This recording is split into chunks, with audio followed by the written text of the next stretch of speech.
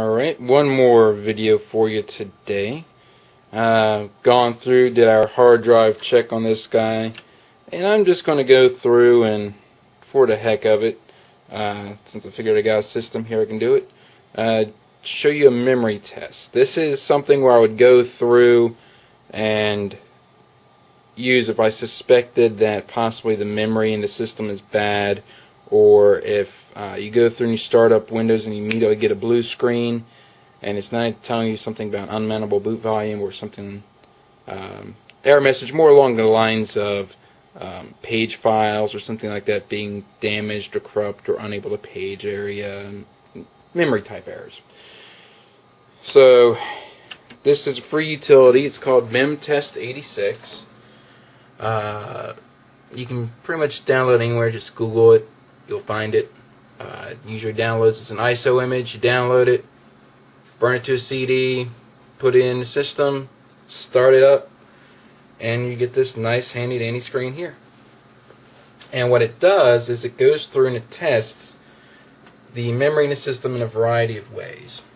If I bring up the screen here, you'll see that uh, we're running uh, test number four, moving inversions random pattern. And you can see the pattern that it's actually trying to uh, write and read from the memory right there, as you see it changing.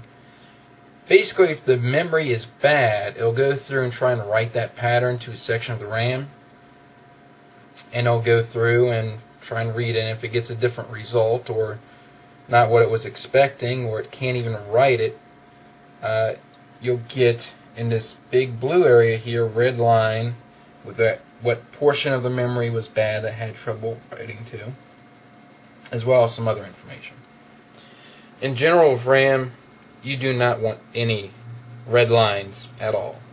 Uh, if you're getting red lines on here, that means you've got a bad memory stick.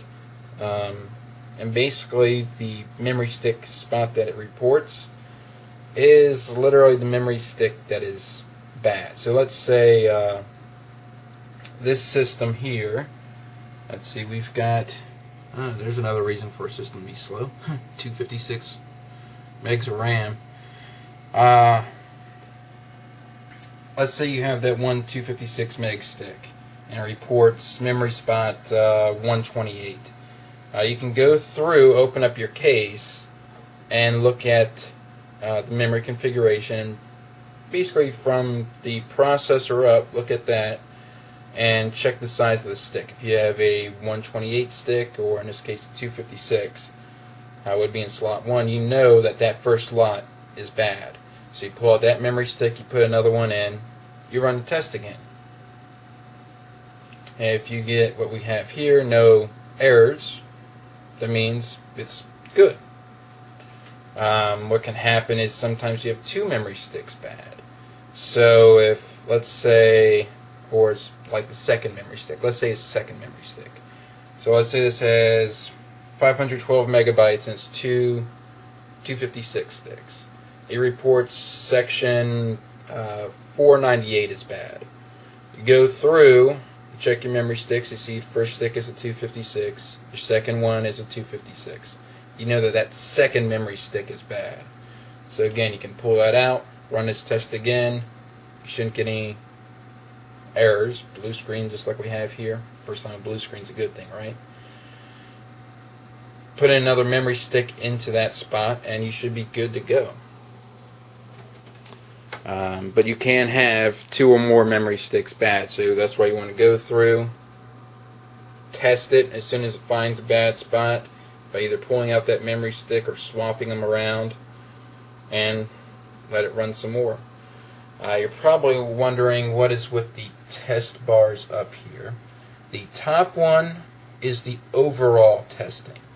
Uh, see where it says pass 45%? That's how far it is and testing one time around. Uh, right below it you see test 12% there. That's where it is on the current test, which is number 6. So once pass at the top goes to 100, it actually restarts again and you'll see this pass counter uh, increment by one. If any errors occur, you see the error counter increment by one. And that's it. A little free utility you can download Uh, just do Google search for memory test. I've got a little bit of an older one here, but uh, it works on systems like this. So that's it for this time. Until then, take care. And uh, if got any questions, post them below or send me a message.